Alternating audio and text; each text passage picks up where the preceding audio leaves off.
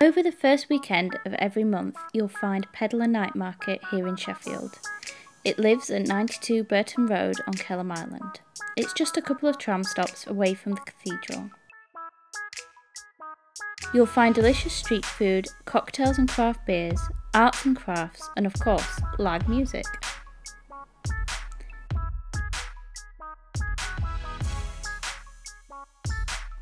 We like to arrive early on the Friday evening to get a head start.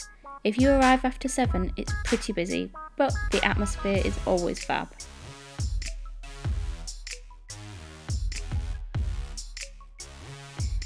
Every month there's a good mix of meaty, veggie and vegan food trucks.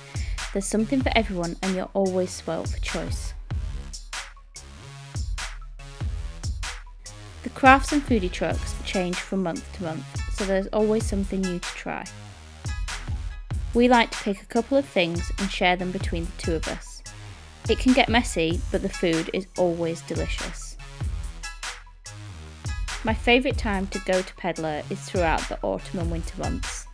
There are warming food options, mulled wine, and best of all, a fire pit to huddle around.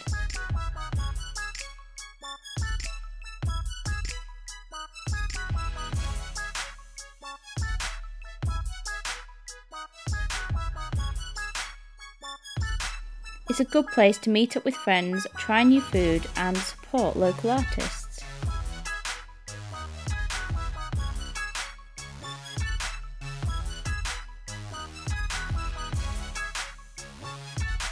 I'm looking forward to the next Peddler Night Market.